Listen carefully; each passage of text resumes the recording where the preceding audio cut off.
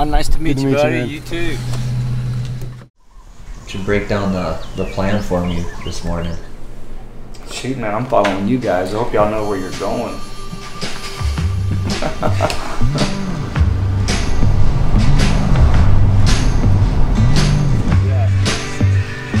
Mouflon, is that what you call them, them things? Look like some big horn Hawaiian sheep to me.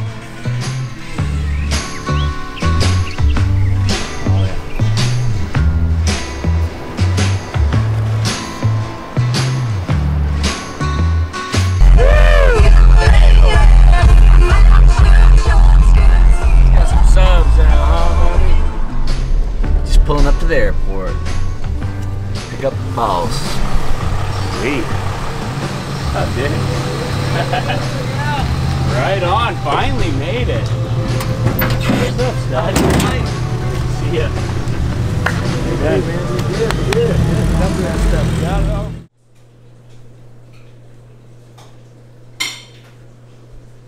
What we got going today, Remi?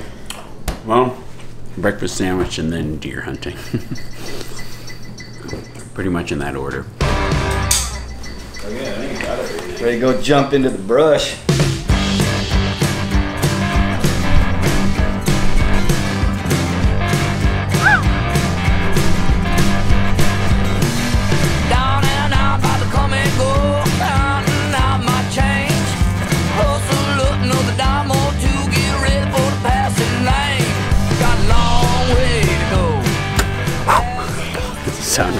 Ducking an arrow.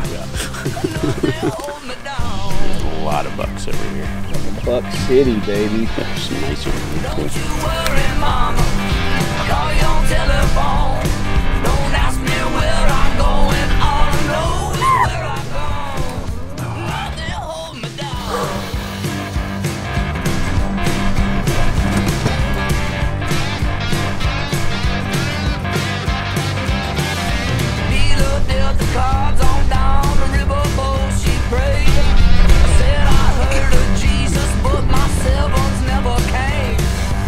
Got long So, what's the verdict on today?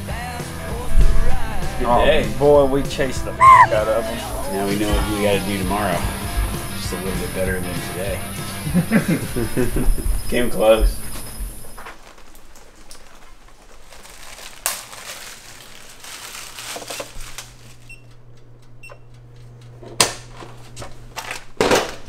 Lunch bag. That's a pro tip right there. Pizza, vacuum sealed. Doesn't get any better. Searching uh, for those elusive Hawaiian split-toed humpbacks. Hard to find, boys.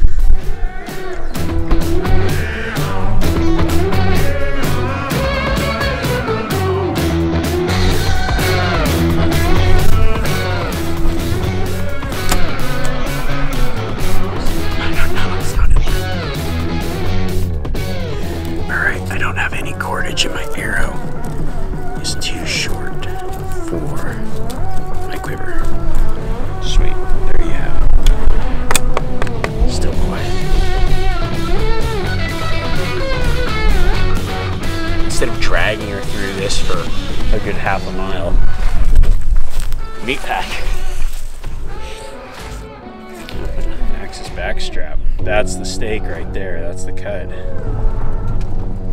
So we ran into a local kid in town, and he's like, "Hey, I got a, a zone that I've been hunting. If you guys want to come out uh, with me, some rifle area." So we're gonna go out. Ryan's uh, gonna borrow his rifle, and we're gonna see what we can find.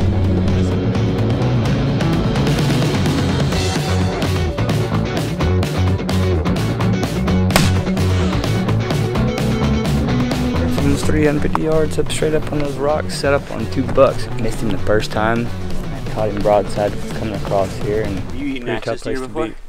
No, never eaten any axis deer. It's like the Yeah. best meat on the planet. Yeah. So good.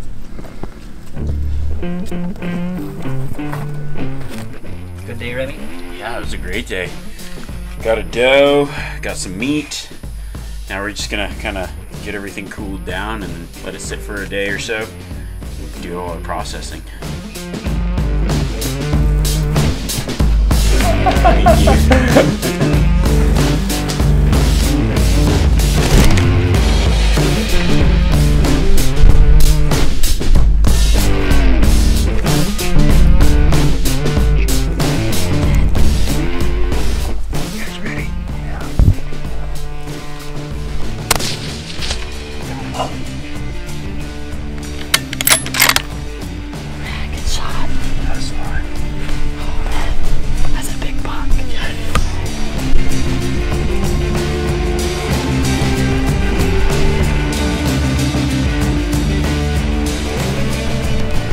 the other day we just happened to meet Seth and he's like, hey, you want to come hunting with me? I got a rifle area we can hunt. We just thought, ah, it'd be fun to just hunt somewhere different, hunt with someone new. It's just so cool. You can kind of go places and just hunters connect over hunting, over food, over so many things. And it's not necessarily the type of hunting or where you're at, but we all share that common bond as hunters. Good job, man. Yeah, dude. What do you think? It's quite a buck. Yeah. And uh, we came down here and thought, oh man, be cool. It's our last day. Let's bring home some meat, get a good buck. And it's been awesome. So I'm glad we ran into each other. That was fun, man. Quite the meeting. yeah, for sure. Right on. Do not lose the way. Goddamn blues. Down at the crossroads with a broke leg. Which way do I go? Sounded like Ryan shot something over here, so we'll head over there and check it out. That'd be sweet. Bring home another deer. I know he was pretty stoked to kind of fill his freezer for the season, for the year. Whether he's on the road or just on set, being able to bring some meat with him. I know he really wanted to eat more wild game this year, and we'll go check on him, see if he needs a hand. Maybe help him pack it out. Man, I had to, I had to go about two miles down the canyon to get him, and another three miles out, and do the math on that.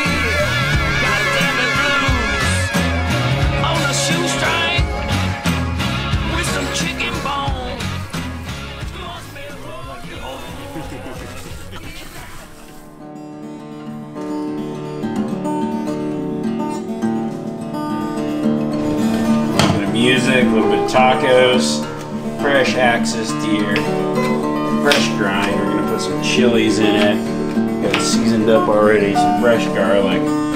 Put on some corn tortillas with cilantro.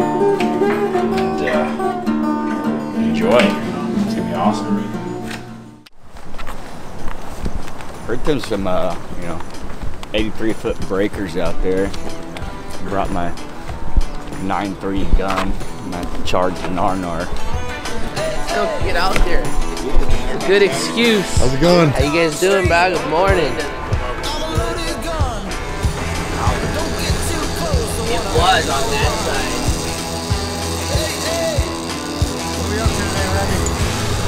Headed out, gonna do a little bit of fishing, maybe jump in, do a little bit of spearing.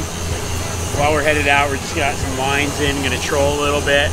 We got some bait we could chuck a little bit later and maybe jump in and shoot a fish, but gonna try to get a little bit of fish on the trip as well. We'll see what happens.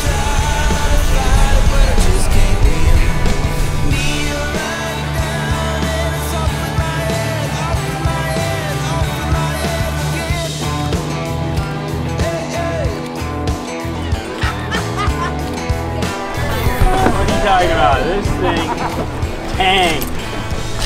Oh, he was Where was my gap?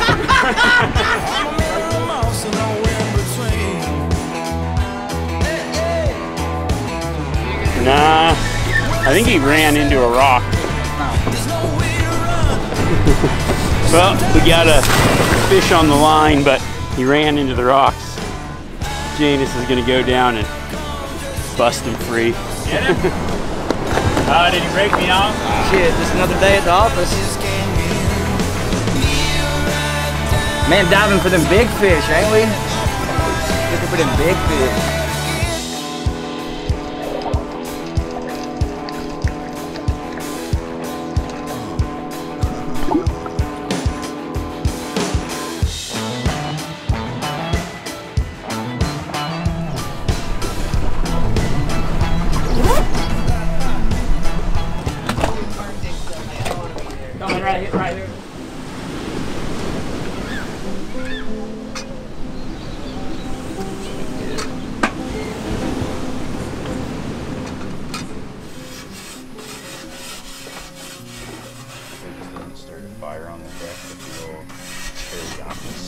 You hungry, Ryan? Yes, sir. Dude, I got. We're going teriyaki backstrap. It's gonna be good.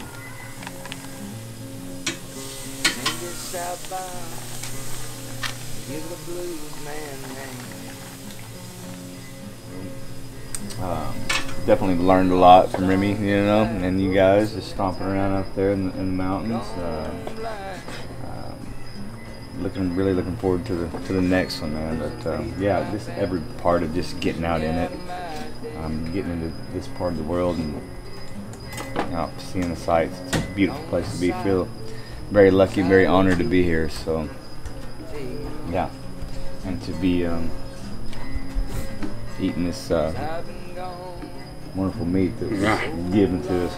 That's good. Right on, man. That was fun. Been a desperado in West Texas so long. Well, I need a change.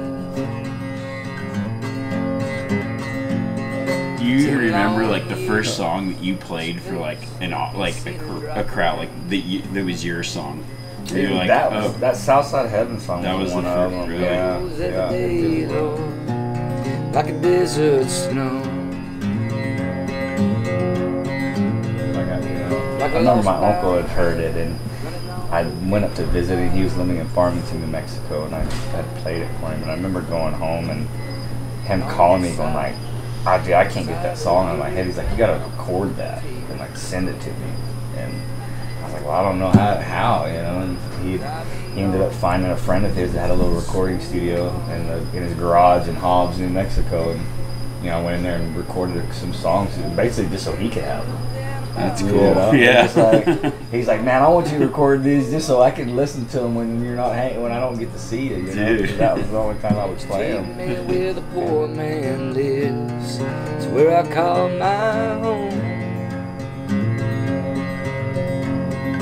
Can't you see that a breeze is just a change? Yeah, that's what I know. I feel like so fortunate. I'm like, I get to spend so much time outside, and that's like, it's one of the reasons I really like sharing it with people because I'm like, you know, it's like I understand. Like I've, I was like, I want to do this every day, and and I understand that like everybody can't do it every day. But I'm like, man, I, I like to be able to share those things, like those trips, those adventures. Yeah, I love hearing that kind of stuff. Like, you know, people say things like, "Oh man, you know, I was doing this, or I couldn't get out this," and like watching these videos and other mm-hmm. things. And it's just like that. That's cool. That's the only reason that I do it. Like, I just like to. When I hear that, I'm like, yeah, that's like that's the thing that I love. Mm-hmm. It's you know, it's cool to be able to do the thing that you love and then share it with people that also love it.